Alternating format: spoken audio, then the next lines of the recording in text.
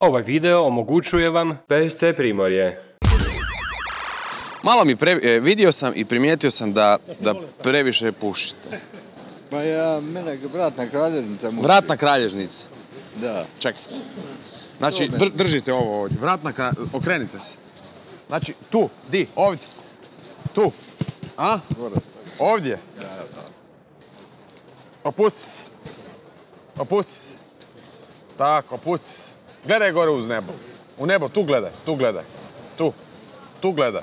Sagni glavu. Glavu sagni. Ne, ne, ovako, ovako. Opusti se, ne možeš. Ja. Gore gledaj. Gore. Malo još opusti se. Eto. I sad radi ovako.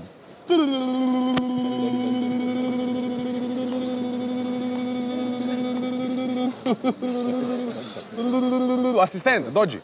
Pomogni mi, molim te. Držimo ovako, držimo ovako vrat. Ovo je moj asistent, nisam ti nikad. Ajde. Gore gledaj, gore, ovo, tamo gore, vidiš ono.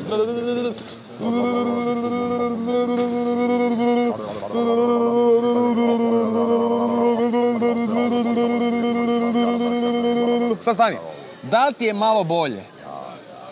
Da li ti je malo bolje? Ma, ti bolje malo, sad ustani. Ja, imate li da malo Ustani. U stavu izlijemo ako imate ćemo skinemo neko od ide, ja ne mogu kao neko glavu pa ću samo pričati.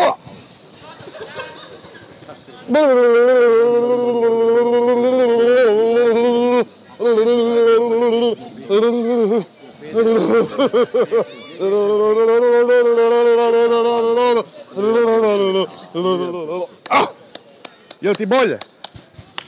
Je. Javi se. Bok. Drž se i pomalo i bit će bolje sve. Drž se, bok. I javi se doktoru kuću, uvijek sam tu za tebe. Može. Pozdrav svim gledateljima. Dođite vi na Riječko Korzo, doktor Kuća liječi pluća.